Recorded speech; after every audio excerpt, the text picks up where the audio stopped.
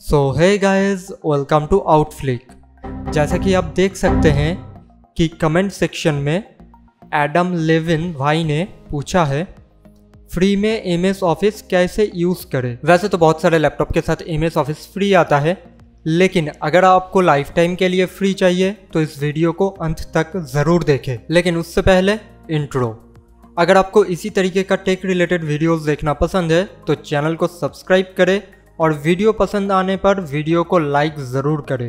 तो अब हम आ चुके हैं अपने कंप्यूटर पर। मैंने जस्ट अभी अभी विंडोज़ 10 को इंस्टॉल किया है। अगर आपको सीखना है कि विंडोज़ 10 इंस्टॉल कैसे करते हैं तो कमेंट में लिख दीजिए। मैं उस पर भी ट्यूटोरियल बना दूँगा। मैंने अपने सारे सॉफ्टवेयर को पेन ड्राइव में रखा है। तो इसलिए मैं अपने पेन ड्राइव को ओपन कर रहा हूँ। जहाँ एम एस ऑफ़िस है, उस फोल्डर को ओपन कर लिया है। जैसे कि मैंने कहा, मैं फ्रेश विंडोज़ इंस्टॉल किया है। इस वजह से विंडराड इंस्टॉल नहीं है। तो आपके कंप्यूटर में भी विंडराड इंस्टॉल नहीं है तो आप भी इंस्टॉल कर लीजिएगा। जैसे कि आप देख सकते हैं कि मेरे पास बहुत सारे एम एस ऑफ़िस का वर्जन है। सबसे पहले मैं 2007 इंस्टॉल करना सिखाऊँगा। हो सकता है कि आपको ये सभी फोल्डर जिप फ़ाइल या रार फ़ाइल में मिले तो आप इन फ़ाइल को एक्सट्रैक्ट कर लीजिएगा विन रार की मदद से। वीडियो देखते रहिए, सब कुछ क्लियर हो जाएगा और वीडियो पसंद आ रहा है तो लाइक ज़रूर कर दीजिएगा। फोल्डर को ओपन करने के बाद नीचे स्क्रॉल कीजिएगा तो आपको एक सीरियल की का फ़ाइल मिलेगा। उस फ़ाइल को ओपन कीजिए और की को कॉपी कर लीजिए। अब सेटअप फ़ाइल पर डबल क्लिक कीजिए। कुछ इस तरीके का एक पॉपअप विंडो ओपन होगा। यहाँ पर आप सीरियल नंबर को पेस्ट कर देंगे। फिर कंटिन्यू पर क्लिक कीजिए। फिर एक्सेप्ट बटन पर क्लिक कीजिए। आप चाहे तो डायरेक्ट इंस्टॉल नाउ पर क्लिक कर सकते हैं, लेकिन मैं यहाँ पर कस्टमाइज पर क्लिक कर रहा हूँ। जो सॉफ्टवेयर आपको नहीं चाहिए, वो आप नॉट अवेलेबल पर क्लिक करके लिस्ट से हटा सकते हैं। जैसे कि मेरे केस में मुझे आउटलुक नहीं चाहिए ग्रुप भी नहीं चाहिए तो इन सभी को मैं हटा रहा हूँ। अब आप इंस्टॉल नाव पर क्लिक कर सकते हैं। जैसे कि आप देख सकते हैं कि इंस्टॉलेशन चालू हो चुका है। जब तक इंस्टॉल हो रहा है, तब तक आप एक लाइक तो कर ही सकते हैं। और वीडियो को आप ऑफ़िस या कॉलेज के दोस्तों के साथ शेयर भी कर सकते हैं। उनको भी मदद मिल जाएगा। इंस्टॉल होने के बाद क्लोज बटन पर क्लिक कीजिएगा। ऑनलाइन वाले बटन पर नहीं। अब इंस्टॉल हो चुका है तो ओपन करके देख लेते हैं। मैं एम एस वर्ड ओपन कर रहा हूँ।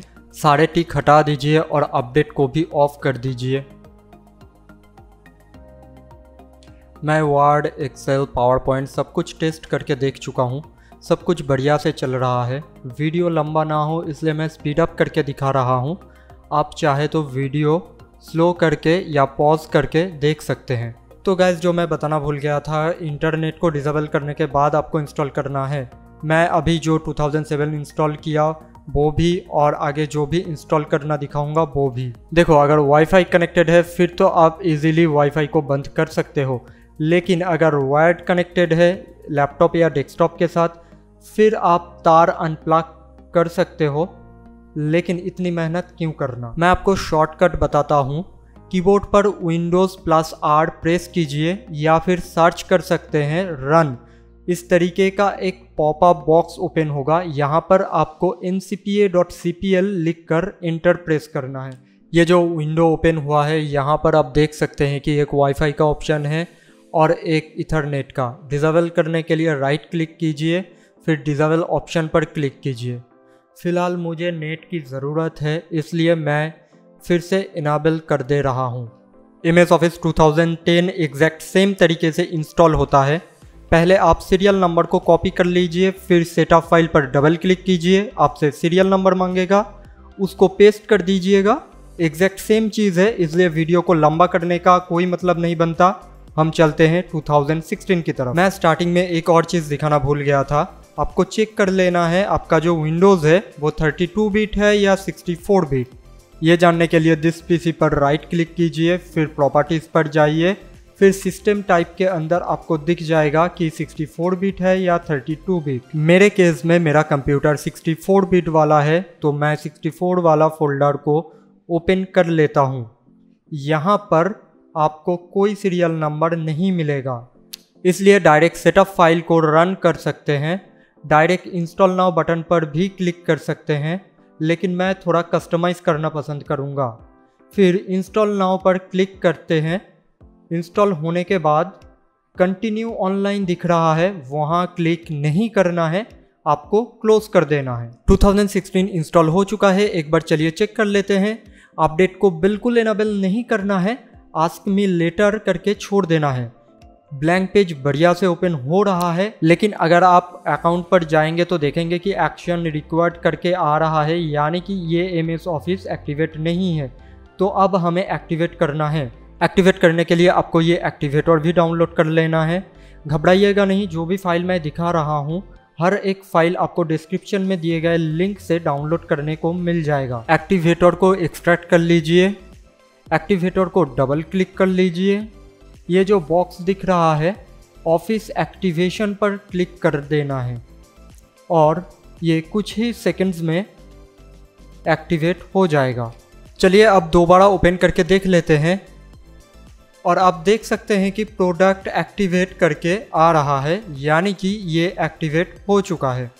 मैं एक्सेल को भी चेक कर लेता हूँ, आप लाइक ज़रूर मार देना। तो जैसा कि आप देख सकते हैं एक्सेल फ़ाइल बढ़िया तरीके से खोल रहा है।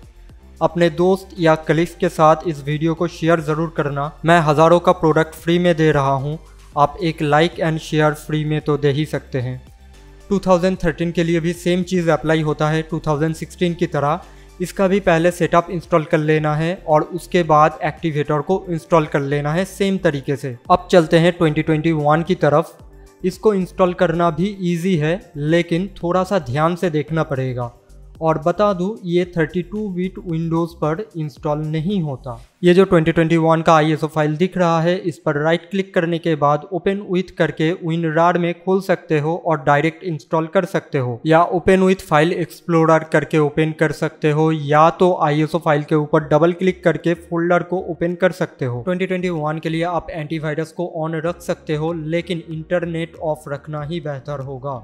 इंस्टॉल करने के लिए इंस्टॉल वाले फ़ाइल पर राइट क्लिक करना है और रन एज एडमिनिस्ट्रेटर पर ओपन करना है। बिल्कुल इसी तरीके का सीएमडी पैनल ओपन होगा और कुछ ही सेकंड्स में इंस्टॉल होना चालू हो जाएगा।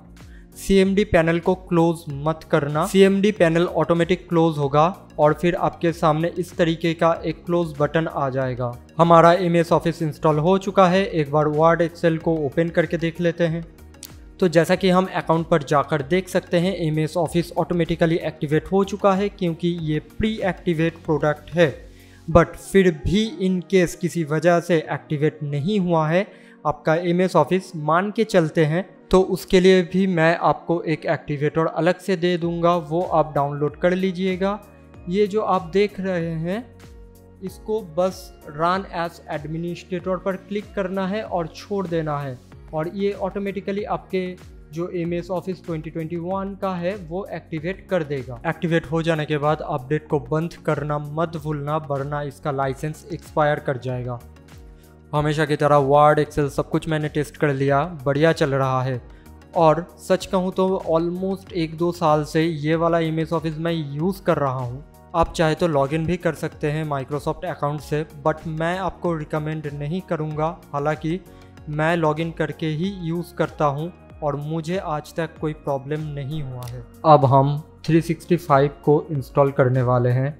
इसके लिए क्रैक मिलना ऑलमोस्ट नामुमकिन था क्योंकि 365 आपको ऑनलाइन इंस्टॉल करना पड़ता है। बट मैंने ढूंढ निकाला तो इसके लिए कमेंट में आई लव यू ज़रूर लिख देना। इंस्टॉलेशन फोल्डर को ओपन कर लेना। यहाँ पर आपको एक्सएमएल फ़ाइल दिखेगा। इसे आपको नोटपैड पर ऑन करना है। अब जो मैं कर रहा हूँ और बोल रहा हूँ प्लीज़ थोड़ा ध्यान दीजिएगा। जो भी आप इंस्टॉल करना चाहते हैं, इस कॉन्फ़िगरेशन एक्सएमएल फ़ाइल से रिमूव कर दीजिएगा कुछ इस तरीके से और उसके बाद सेव कर लीजिएगा। अब आप इंस्टॉल फ़ाइल पर डबल क्लिक कर सकते हैं। 2021 की तरह ये भी इंस्टॉल होना चालू हो जाएगा। सीएमडी पैनल को क्लोज मत कीजिएगा। 365 इंस्टॉल होने में थोड़ा टाइम लेता है। तो ये इंस्टॉल हो चुका है, हमेशा की तरह वार्ड ओपन करके देख लेते हैं। यहाँ पर आपसे प्रोडक्ट की मांग रहा है और हमारे पास है नहीं तो हम क्लोज कर देंगे, फिर नेक्स्ट कर देंगे, उसके बाद डोंट सेंड ऑप्शनल डाटा पर क्लिक करेंगे, फिर डान बटन पर क्लिक कर देंगे। फिर अकाउंट पर जाएँगे तो आप देखेंगे कि ये भी एक्टिवेट नहीं है, हमें एक्टिवेट करना होगा। इसका भी एक्टिवेटर आपको मिल जाएगा। लेकिन एक्टिवेटर को यूज़ करने से पहले आपको एंटीवायरस को ऑफ़ करना होगा। साथ में इंटरनेट को भी ऑफ़ कर लीजिएगा। मेरे केस में विंडोज़ डिफेंडर है तो मैं यहाँ से real time anti real time protection को ऑफ़ कर रहा हूँ। आपको यहाँ पर क्रैक वाला फोल्डर दिख रहा होगा।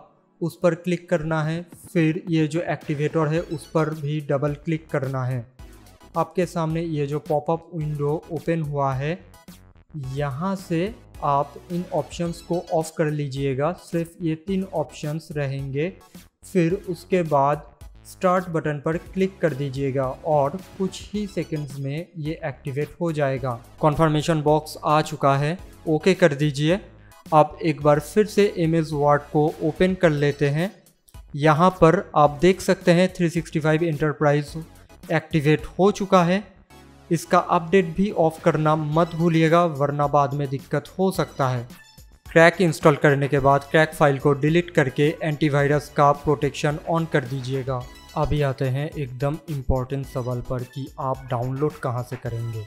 देखिए ये सारे फ़ाइल इंटरनेट पर ऑलरेडी मौजूद है लेकिन ये सारे फ़ाइल मैं गूगल ड्राइव में अपलोड कर दूँगा ताकि आपको 10 जगह जाना ना पड़े और उसका लिंक आपको डिस्क्रिप्शन पर मिल जाएगा। लिंक पर क्लिक करते ही आप इस साइट पर आ जाओगे।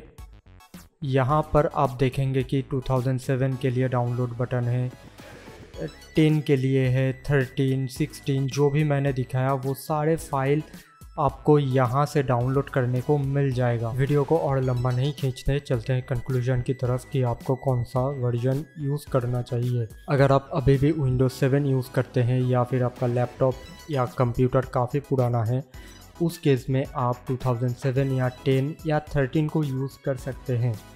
थोड़े से पुराने कंप्यूटर के लिए मैं 13 या 16 को रिकमेंड करूँगा। आप 365 को भी ट्राई कर सकते हैं। हालाँकि मैं रिकमेंड नहीं करूँगा क्योंकि एक दो महीना ही इस्तेमाल किया हूँ।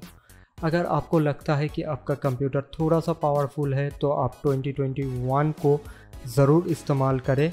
मैं खुद दो तीन सालों तक यूज़ किया हूँ और इसका क्रैक काफ़ी स्मूथ चलता है। जाने से पहले बस इतना ही कहूँगा। अगर आपको ये वीडियो थोड़ा सा भी कम का लगा है तो वीडियो को लाइक करें। ऐसे ही वीडियोस देखना पसंद है तो चैनल को भी सब्सक्राइब करें और कमेंट सेक्शन में आपका जो मन करे आप लिख सकते हैं। इससे वीडियो को थोड़ा बूस्ट मिलेगा और मुझे भी थोड़ा मदद हो जाएगा। बाकी मैं मिलूँगा आपसे किसी और वीडियो में किसी और टॉपिक के साथ। तब तक देखते रहिए आउट फ्लिप